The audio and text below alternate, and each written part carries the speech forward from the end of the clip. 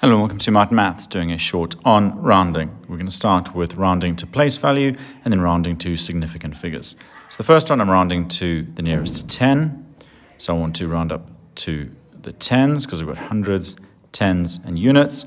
So I look at the units, that is less than 5, so that'll be 730. If you're not sure, just say to yourself, is it closer to 730 or 740? And we can see that 735 is the halfway mark, so it's less than the 5 there.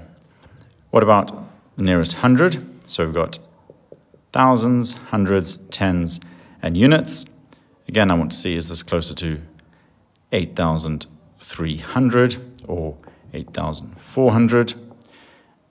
So I go to the tens there, and that is bigger than 5, so I'm going to round up to 8,400 because I could see where's halfway, it's 8,350 and I'm more than that.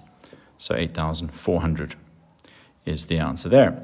Now, significant figure, we're going to round in the same way, but we're looking at a different place. We don't necessarily know whether we're looking at tens or hundreds or units, but we start from the first non-zero place value, and that's the 4 there. So I want one significant figure that will summarize that number. So I will choose that 4, but I look to the right and I see, well, that is 5, so I'm going to round up to 500.